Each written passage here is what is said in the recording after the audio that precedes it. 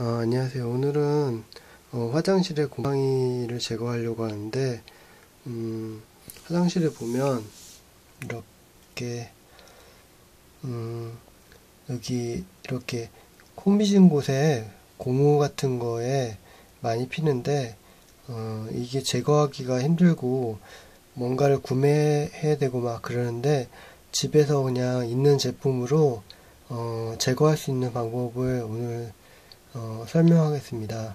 일단 준비 물품은 베이킹 소다랑 그 다음에 유한낙스 어, 무한낙스 무슨 이상한 낙스가 있는데 어, 이거는 유, 유한 클 유한 클리닝에서 유한 낙스라고 해서 이렇게 정확한 걸 사야 되고 그 다음에 음, 솔 그냥 일반 솔이고 뭐 지저분한 건 상관없고 그 다음에 일회용 종이컵 이렇게 되겠습니다.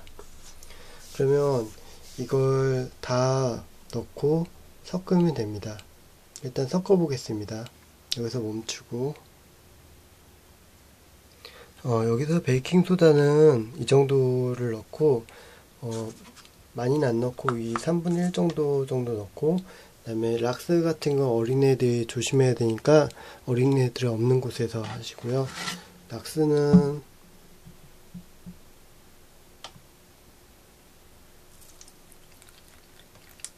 정도?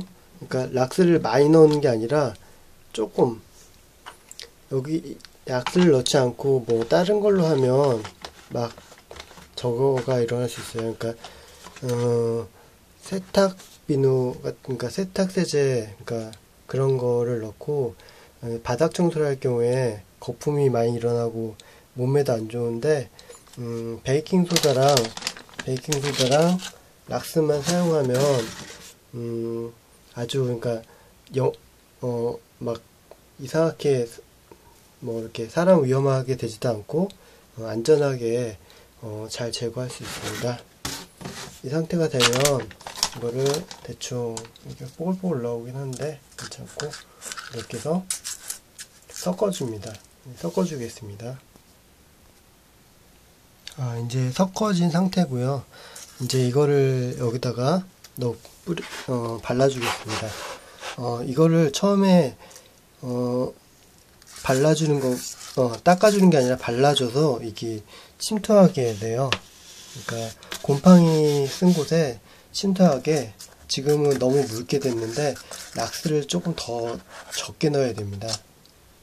그래서 발라주고 그러니까 처음에 문댈 필요 없고 처음에는 무조건 발라주고 그냥 기다려주면 한 30분 정도 후에 이걸 다시 보면 점점 하얘지는 걸 볼 수 있는데 그렇게 하면 됩니다.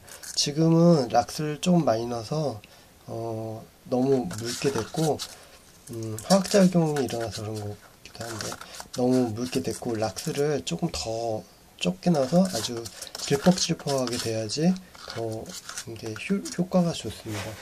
조금 너무 묽어서 여기다가 이제 베이킹 소다를 한번 더 넣겠습니다.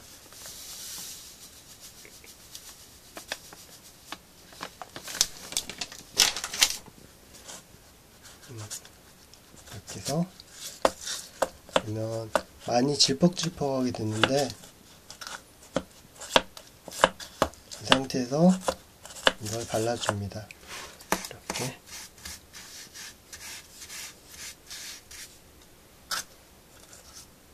그러면 이렇게 하면 어 이렇게 이런 하얗게 만드는 제품을 따로 구매하지 않고도 어 이거를 깨끗하게 할 수 있습니다. 지금은 아직 색깔이 변하지 않았는데 이걸 바로 할 생각을 하지 말고 이렇게 해서 그냥 방치하고 있다가 해, 하면 됩니다. 이때 맨손으로 하지 말고 고무장갑 같은 걸 끼고 하시고요. 그 다음에 어린애가 없을 경우에만 해야 합니다. 이거는 굉장히 독하기 때문에 닦지도 않고 위험합니다. 하여튼 이렇게 해서 그냥 방치해 놓으면 됩니다. 이 상태에서 방치해 놓고 그 다음에 다시 한번 또 한 번 닦고 계속 반복하다가 나중에 이제 물로 한번 어 깨끗하게 청소해 주면 이제 마무리되고 이렇게 하얗게 됩니다. 이거는 이미 한번 한 상태고 어, 이전에는 굉장히 시커먼는데 이렇게 하얗게 된 모습입니다. 이거는 지금 예전기 조금 올라와서 생긴 모습인데 어, 이렇게 하다 하, 하고 나면 이제 깨끗하게 됩니다. 이상입니다. 어, 다시 재료를 설명하면 유한 낙스에다가 베이킹 소다입니다. 그 다음에 점도는 이렇게 묽게 이렇게 묽게 묽게 해서 이 정도 이렇게 해서 그냥 내비두면 어, 됩니다. 한 번에 하려고 하지 말고 여러 번 하면 됩니다.